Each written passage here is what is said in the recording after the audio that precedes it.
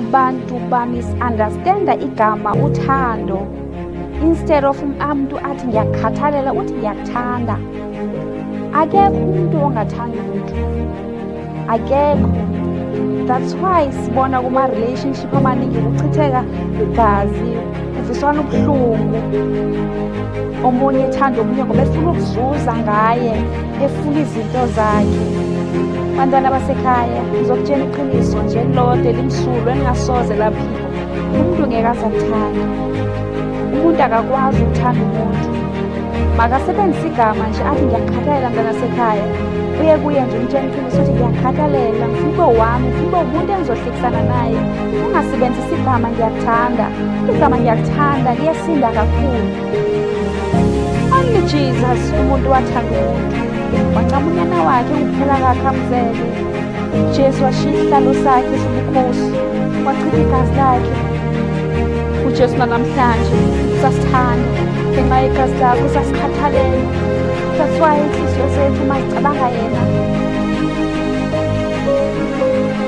simangale ukuthi uthando lungaka futhi besenzeni besingobani uthandwa kangaka nkosi kuzoba khona โอทุกทางมันเป็นมาสุดท้ายอาบัตเพีกับมันเป็นมาบานไม่กลับมาอุทานเทพอุโมงควางเวียงขัดให้เดินเทพอุโมงค์วางอุโมงค์ชิ้นโยอุโมงค์ชิ้นโยวางอย่างขัดใหนเลยนมาสุดเดินกาบมุทาหรือกับมุทานลงทุกบ้านอันเล็กอุโมงค์ทุกการเล่นงานว่าแต่เราชิ้นละเกีด accident finger was destroyed by my time in the system.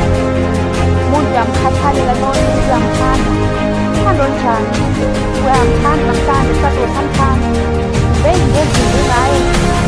Ngiyekile ukumkhana because uvele ethi ngaye kanye ubone ngaye. UJesu simbona vele ngaye. Khona mkhathi akakubaleka macala enu. Iyakuxolela isikolo wethu. Kumele